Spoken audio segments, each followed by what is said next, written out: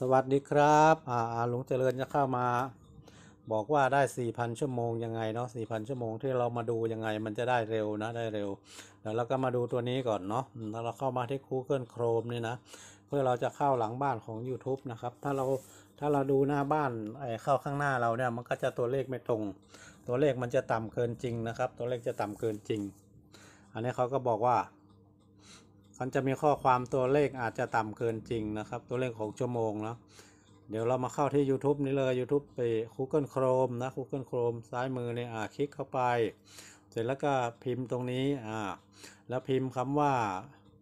อันนี้มันขึ้นอยู่มันขึ้นอยู่นะ thstudio.com นี่เดี๋ยวลุงเจริญลองคลิกเข้าไป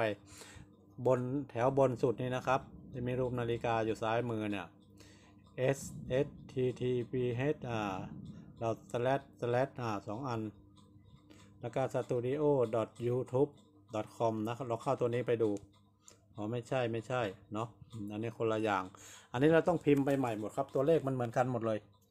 ตัวตัวหนังสือมันเหมือนกันหมดเลยนะ เข้าไปใหม่ แล้วก็แล้วก็พิมพ์เข้าไปเองดีกว่าเนี่ยมันจะเหมือนแถวบนทุกอย่างเลยนะ youtube studio com นะ แต่เราต้องพิมพ์ใหม่นะ ถึงมันจะขึ้นมาเราก็ต้องพิมพ์ไปใหม่เลยนะครับนะเดี๋ยวลุงเจริญจะพิมพ์เข้าไปเนาะ S S สิงคโปร์นะ อันนี้มันขึ้นเป็นแถวนี้เราไม่ต้องไปสนใจเราพิมพ์ต่อเนื่องไปเลยนะ T T อ่า P S แล้วก็ไข่ปลาสองจุดนี่ไข่ปลาสองจุด แล้วก็สแลชสองอันก็พิมพ์ใหม่ไปเลยตึ้งตึ้งเนี่ยเราไม่ต้องไปสนใจ แล้วก็ YouTube นะอ่าสตูดิโอสตูดิโอก่อนนะสตูดิโอ S T U D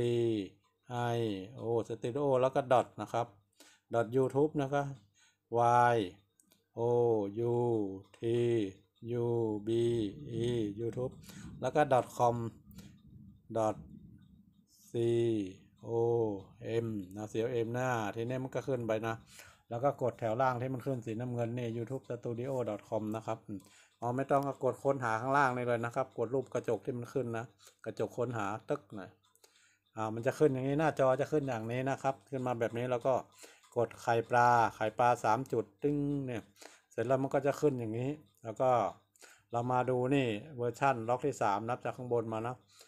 เว็บไซต์เวอร์ชันนะครับ กดเข้าไปเลยตรงตึ้งสี่เหลี่ยมตรงนี้มันก็จะขึ้นอย่างนี้ เดี๋ยวรอดาวน์โหลดแป๊บหนึ่งนะครับ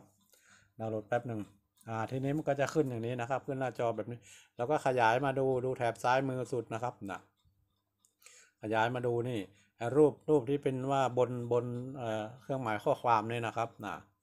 นับข้างบนลงมา นับข้างบนลงมาจาก YouTube มาหนึ่งสองสามตัวที่สามนะ นับจากเครื่องหมาย YouTube ที่หนึ่งสองสามตัวที่สามที่เป็นขีดไอ้ไอ้เนี่ยอะไรนะเขาเรียกระดับอะไรของมันเนี่ยระดับอะไรของเขานี่แหละนะครับ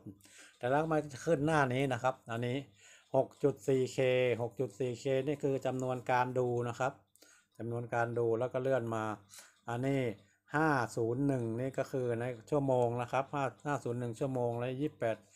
เอ่อนะเวลาในการรับชม5 501.1ชั่วโมงนะครับ แล้วก็มานี่เลื่อนมา เดี๋ยวอันตัวนี้ยังไม่แน่เราขึ้นมานี่นะครับ มาดูซ้ายสุดเนี่ยที่จำนวนบน realtime นี้จะเป็นคำว่า 28 วันผ่านมา เมื่อกี้มันที่ตัวเลขหน้านี้มัน 28 วันผ่านมานะครับเราก็กด 28 วันผ่านมาเนี่ยปุ๊บมันก็จะขึ้นเนี่ยเห็นป่ะ ขึ้นมา 7 วันผ่านมา 28 วันผ่านมา 90 วันผ่านมา เรากดไปที่ตลอดอายุนะครับ ติ้งคลิกไปที่ตลอดอายุ อ่า ทีนี้มันก็จะขึ้นอะอันนี้คือตัวเลขจริงนะครับ ตัวเลขจริง เห็นป่ะตัวเลขจริงนะยี่แปดยี่สองจุดแปดเคเนี่ยก็คือเคหนึ่งพันชั่วโมง อันนี้ก็สองพันสองพันแปดร้อยชั่วโมงนะครับเนี่ยอันนี้ก็หนึ่งจุดสี่เคก็นี่คือผู้ผู้ติดตามนะหนึ่งพันสี่ร้อยนะผู้ติดตามหนึ่งพันสี่ร้อยหนึ่งจุดสี่เค นะอันนี้ห้าสิบสามเคห้าห้าสิบสามจุดสามเคนี่จำนวนการดูนะครับจำนวนการดูก็ห้าห้าหมื่นกว่านะห้าหมื่นกว่า